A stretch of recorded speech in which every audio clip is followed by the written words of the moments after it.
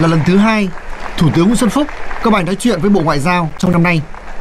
Nhưng hội nghị này có tất cả các đại sứ và trưởng cơ quan đại diện của Việt Nam trên toàn thế giới. Những người mà theo Thủ tướng là đang dệt sợi dây kết nối tình hữu nghị và nâng cao vị thế của Việt Nam trên thế giới. Đánh giá cao, các cơ quan đại diện của Việt Nam ở nước ngoài đã cảm nhận trực tiếp được hơi thở của thời đại và nhịp đập của địa bàn để có những đóng góp thực chất cho đất nước. Thủ tướng nhận xét, nhiều nhà ngoại giao luôn chăn trở, lo lắng cho đất nước và từ đó có đóng góp tốt cho Tổ quốc. Nhờ đó Việt Nam đang tạo được sự đan xen lợi ích giữa các đối tác chiến lược và đối tác toàn diện, đồng thời đan xen được lợi ích giữa kinh tế với chính trị và an ninh, nên giúp hóa giải nhiều vướng mắc trong các quan hệ. Ngoài ra Việt Nam cũng chủ động can dự, thúc đẩy được điểm đồng lợi ích với các đối tác, đi cùng với giảm bất đồng, nhất là trong bối cảnh các nước lớn điều chỉnh mạnh về chính sách. Tuy nhiên, Thủ tướng cũng chia sẻ chỉ còn 2 năm rưỡi nữa là kết thúc nhiệm kỳ. Trong khi đó, chính phủ đang có một núi công việc ở phía trước.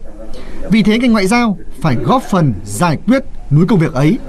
Mà một trong những nhiệm vụ và trọng trách nặng nề nhất là phải giữ được môi trường hòa bình ổn định cho đất nước theo phương châm dĩ bất biến, ứng vạn biến, tức là kiên định về nguyên tắc và mềm dẻo về sách lược. Những nhà ngoại giao tài năng nhất chính là những người biết truyền cảm hứng sâu sắc, những người kể chuyện xuất sắc, thuyết phục nhất cho bạn bè quốc tế về lịch sử dân tộc Việt Nam, về lòng yêu chuộng hòa bình và những quyết sách làm kim chỉ nam cho con đường chúng ta đi. Có thể gọi đêm đại nghĩa để thắng hung tàn, lấy chí nhân để thay cường bạo trong thời khắc khó khăn phức tạp của đất nước. Cùng với kiến tạo phát triển, Thủ tướng Nguyễn Xuân Phúc cũng đề nghị ngành ngoại giao cần phát huy tinh thần hành động phục vụ cho phát triển. Phải chuyển hóa mạnh mẽ lợi thế quan hệ tốt đẹp của Việt Nam với các quốc gia và đối tác trở thành các cơ hội hợp tác cũng như lợi ích kinh tế. Đây cũng chính là tạo nên thế đan xen lợi ích. Trong đó, công tác đối ngoại cần phải lấy doanh nghiệp làm trung tâm, đồng hành cùng doanh nghiệp vươn ra thế giới. Hoạt động của các đại sứ quán không chỉ phục vụ Đảng và nhà nước mà còn phục vụ các địa phương, các doanh nghiệp để phát triển kinh tế.